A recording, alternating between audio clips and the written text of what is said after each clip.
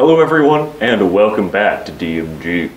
Today I'm setting out to find if a very low-end modern CPU can beat a mid-range laptop CPU from a decade and a half ago.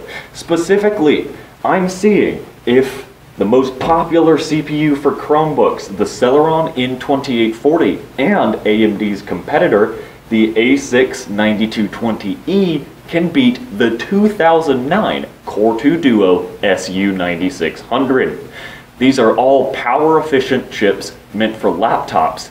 However, their market segments are pretty different. The Core 2 Duo was of course the mid-range chip in 2009 when this one launched. And these two chips, the AMD and the Celeron, are very low-end APUs.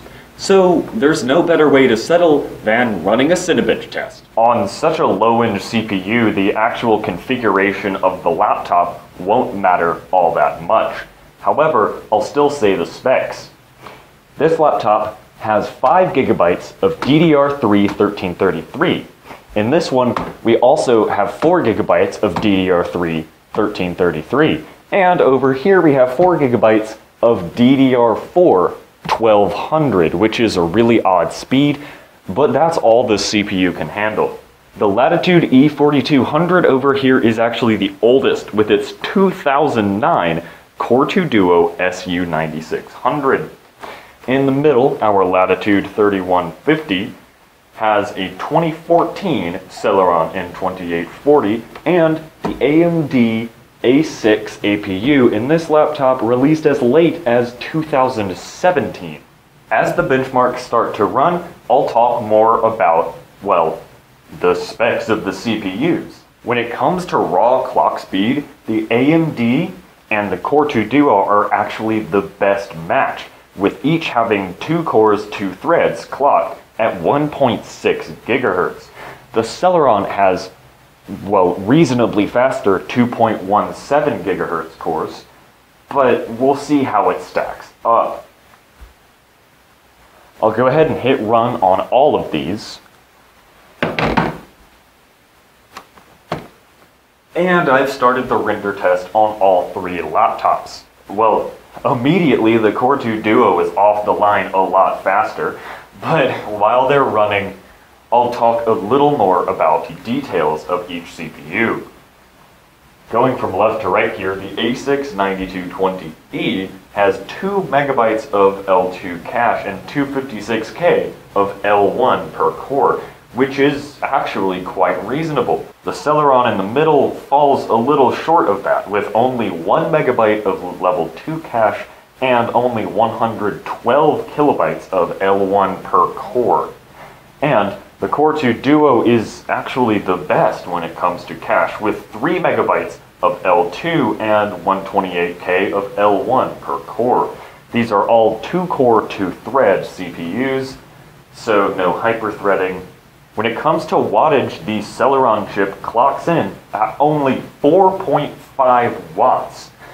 The A6 clocks in slightly above at 6 watts, and the Core 2 Duo clocks in at just 10 although 10 watts is almost the power of the AMD chip and the Celeron combined, 10 watts for a Penryn architecture Core 2 Duo is very impressive.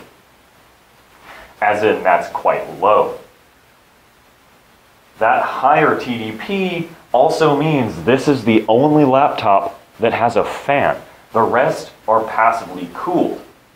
I know it's not what we're really talking about here, but I want to take a minute to plug my video on the Latitude E4200 and also say that it's my favorite out of these three. It has the best build quality, the brightest screen, the most comfortable keyboard, uh, and although this actually has the best battery life, this is the most pleasant to use. And we'll see from the CPU test if I will absolutely recommend it over these other two. But currently, this is my favorite of uh, the three. I should also mention that I'm testing the laptops on battery instead of plugged in. Of course, testing them plugged in would give us an idea of the maximum possible performance one could get out of these CPUs. However, testing the unplugged power profile is, in my opinion, a lot more important on a laptop because, let's be honest, these tiny little laptops, you're buying these for portability. So I don't feel like it's valuable to test the maximum performance of the CPU plugged in, since you're going to be using them on battery most of the time. Well, we're about five minutes in, and the Core 2 Duo is actually winning. It may look like the AMD is winning, but that's just because they have different resolution screens and Cinebench isn't perfectly scaling. The Core 2 Duo is actually the most complete, or at least the most close to finished with the image. So going off of that, I have a feeling the Core 2 Duo actually may win. The AMD chip, that said, is still a lot faster than the Celeron CPU, and that is to be expected seeing it's three years newer. And yes, I am running a multi-thread test because most applications, including what you would usually be doing on a small laptop, basically web browsing and spreadsheets, all those applications are multi-threaded. About 10 seconds ago, the Core 2 Duo finished victorious with 188 points. The AMD is indeed pretty close behind with only one row to go, and the Celeron is very behind. So clearly, the Core 2 Duo is the big winner. It's been, uh, actually, it's been about 30 minutes. so that's a little longer than I expected, but the fact that a 2009 mid-range slash low-end CPU can still demolish like two popular CPUs for Chromebooks says a lot about you know, why you should buy an older laptop. It's just a better bang for the buck. And just be honest with me. Which looks like a better keyboard? This or this? Yeah, that's what I thought. Also, I find it funny that this is like the most modern looking of the laptops. It has the thinnest bezels, and it's like all sleek and nice looking, and these just kind of look terrible. Anyway, Let's wait a little longer and see what the scores of the other two laptops are since that is what we're comparing here. And our AMD A6 finishes with 169 points, so it falls behind by 19 points behind the Core 2 Duo. And I bet that the Celeron is going to get maybe 150 like 146 to 150 is the range that I predict for it. And our Celeron finishes with 160 points. I was a bit off there. My prediction was 150. But clearly, the fact that a 2009 CPU beats this guy by even 18 Cinebench points, that's, uh, that's pretty unfortunate. So I guess that settles our debate. And that's actually in line with the tests that I ran last week. Let me get those pulled up so I can read them to you.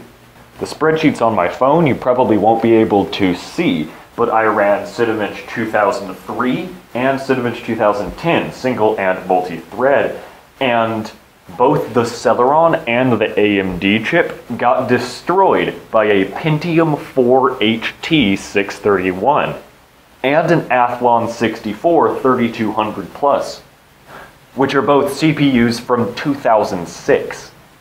And that's really embarrassing. The Core 2 Duo SU9600 beat both the Athlon, the Pentium, the A6, and the Celeron, or not both, all four, but it in itself was defeated by the Pentium 4 HT 661.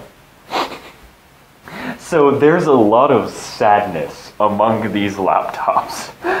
There's a lot of incompetency going on, but I just think it's so hilarious and just a great representation of what low-end laptops are like nowadays that a Core 2 Duo comes out victorious. That said, that's about all I have to say for this video. Thank you everyone so much for watching. And if you're interested more in the Latitude E4200, it has its own video on my channel. And I do highly recommend you check it out or perhaps even buy one for yourself as this little notebook holds up astoundingly well 15 years later. But that's it for this video. Thank you everyone so much for watching and see you next time.